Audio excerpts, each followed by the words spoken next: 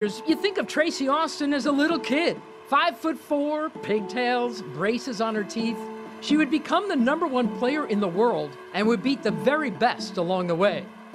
But do you know who her first big professional win was against? It was me. I'm not kidding. It was 1977 at the Avon Futures of Portland, Oregon. I was 20 years old, into the quarterfinals. All I had to do was win one more match because the semifinalists then got into the bigs for two weeks, the main circuit. All I had to do was beat one small child.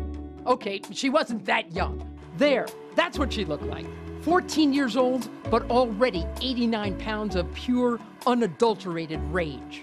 All right, she wasn't full of rage. But boy, could that little kid play some tennis. In entirely too short a time, she obliterated my snappy serve and volley game and her life in the bigs began. Within two years, we were once again on the same fast track, playing at the US Open.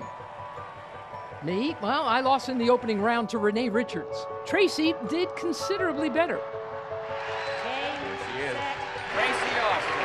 Youngest woman ever to win this championship. The kid won her first Grand Slam title right here in New York, beating Martina Navratilova in the semis, then Chris Evert in the final.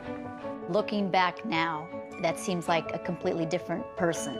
It was a lifetime ago. It's interesting to look back now on the fact that I was just 16 years old because in some ways I had no pressure.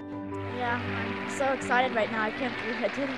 So after Tracy won this, she and her mom had to bring her brother Jeff to the airport.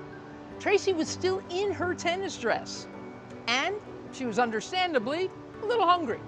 This is after the finals. This is just crazy thinking.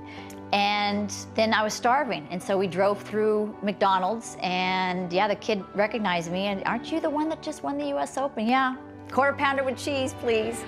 So my life completely changed. By the time she was 18, Tracy had won four Porsches. But her drive-through dining went down as her title count went up. And what comeback by Tracy Austin.